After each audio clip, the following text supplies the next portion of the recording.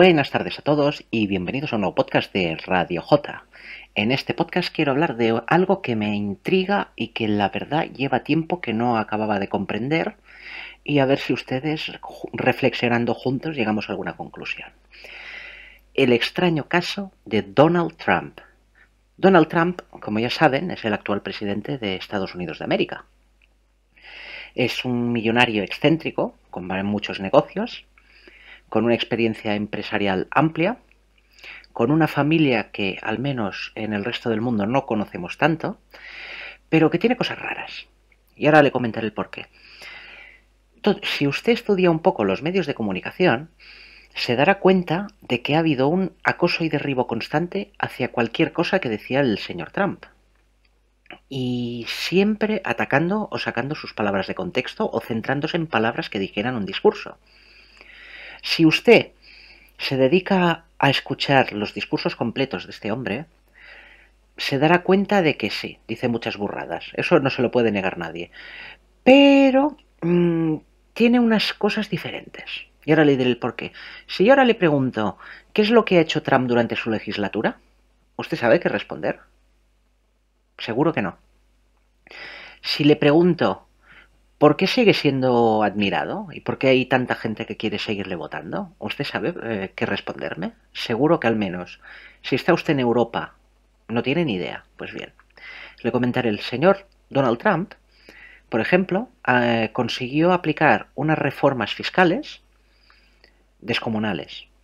O ha conseguido modificar el sistema judicial poniendo una serie de jueces obviamente más a favor de su ideología republicana, más tirando a la derecha derecha que no la derecha de los de los demócratas, pero es todo un hito en Estados Unidos. Ha conseguido reducir el flujo de inmigración ilegal que pasaba por México hacia su país y tampoco le ha hecho falta el famoso muro. Ha conseguido que el propio gobierno de México se implique en reducir esa inmigración ilegal. Pero volvamos al famoso muro.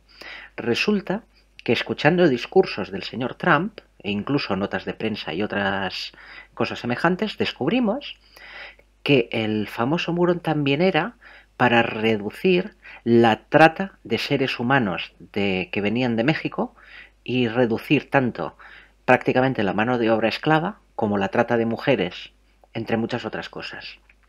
También por ejemplo, mucha gente se tomó a cachondeo que crearon una rama, una rama nueva militar que fue la de la Fuerza Espacial, separada del Ejército del Aire.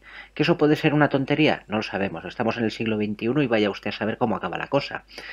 Pero la cuestión es que otra cosa que destaca es que ha conseguido que Estados Unidos, que era un país que desde terminar la Segunda Guerra Mundial y durante toda la Guerra Fría se había convertido en policía del mundo, está reduciendo de manera descomunal la presencia de tropas estadounidenses en el resto del mundo.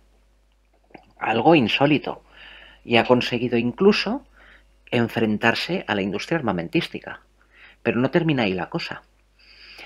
Ha reducido el desempleo en prácticamente todos los sectores del país, destacando sobre todo las minorías étnicas e incluso, eh, porque sigue siendo un país bastante machista, el desempleo de mujeres. Y ha forzado una serie de bonificaciones para conseguir que siga reduciéndose este desempleo.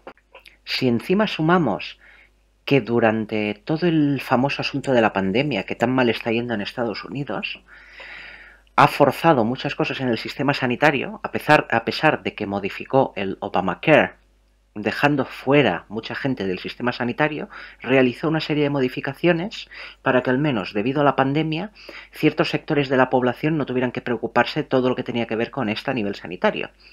Y aún tenemos más cosas. El señor Trump ha hecho algo que es extrañísimo en un presidente de los Estados Unidos. Y es, por ejemplo, que en vez de fomentar la guerra de Israel con los países colindantes, ha conseguido que se alíen con él. Ha pasado hace poco con Emiratos Árabes Unidos. Ha conseguido poco a poco que se alíen o tengan más buena relación con Israel, lo que ha provocado el enfado de otros países árabes. Pero vemos que es un personaje muy extraño. Por otro lado, sí que es verdad que mantiene una guerra económica descomunal con China, que también tiene su lógica, es la, futura potencia mundial, eso es inevitable, a menos que nos extingamos o suceda algún cataclismo. Pero vamos viendo que este, este hombre hace una serie de cosas que no se habían hecho nunca, se está haciendo muchos enemigos en muchos sectores, y por el otro lado, a nosotros, a nivel de, de oyentes, radio oyentes, televidentes, ciudadanos, espectadores, lo único que nos llegan son retales de críticas a esta persona sin saber exactamente qué es lo que ha hecho o ha dejado de hacer. Y eso hace plantearnos muchas cosas. Por ejemplo, ¿a qué se debe esta campaña contra Donald Trump? Sinceramente, son una serie de cosas que no tienen lógica alguna. O al menos eh, desde mi punto de vista, no sé cómo lo verá usted. Pero que no es todo, no es todo trigo limpio, no, no, no, es, no es un asunto muy transparente. Porque yo, por ejemplo, para poder eh, encontrar todos estos datos he tenido que estar leyendo prensa, eh, webs de Estados Unidos, he tenido que buscar eh, temas de diplomacia y son una serie de cosas que no son fáciles de encontrar realmente. Y centrarse concretamente en cosas que ha hecho bien. Porque claro, de cosas malas se dice sobre todo por cómo habla, por cómo dice las cosas, que si su mujer, que si ha hecho jardinería y ha destrozado los árboles de los Kennedy en en los jardines de la Casa Blanca, una cantidad de cosas que nos hacen ver que hay algo que está generando un odio hacia Donald Trump, que cada vez se le busquen más enemigos, aunque sea por acoso y derribo. Y ya sé que lo he resumido mucho, eh, este, este podcast, pero me gustaría que ustedes también tuvieran un enfoque o fueran capaces de aclararme exactamente qué está pasando con este personaje, ya que es extrañísimo todo esto. Y este es el programa en sí. Como siempre, muchas gracias por escucharme, que tengan una feliz tarde y un muy buen fin de semana. Hasta la próxima.